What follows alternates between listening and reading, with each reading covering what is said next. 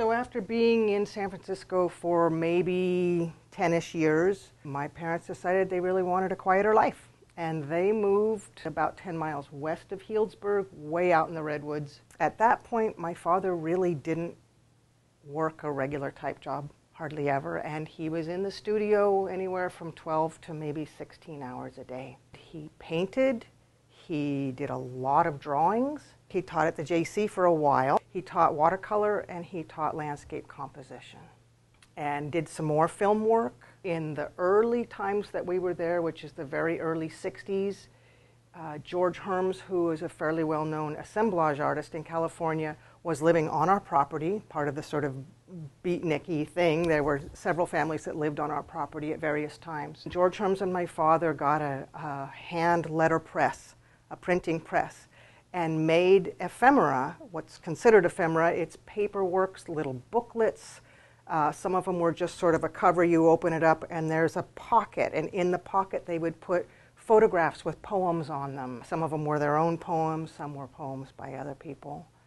So those were some of the other things that uh, he was doing in the earlier years, and uh, he passed away in 1988 and produced right up to the very, very end.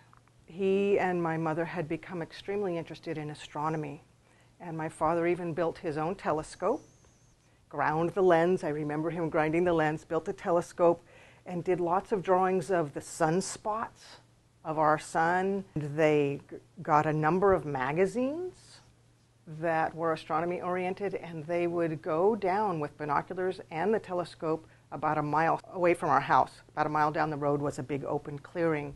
And they would go out in the evenings and spend a few hours in that clearing looking at the night sky. They studied uh, molecular biology and astrophysics and a lot about the cosmos in general. And those things, of course, just started influencing his artwork even more. These are often called well, they were called by my father, they were called decks. And I think of them sort of as being decks of clouds, but they could be decks of atmosphereness, whatever that is. It's particles. This is very much like a horizon line here.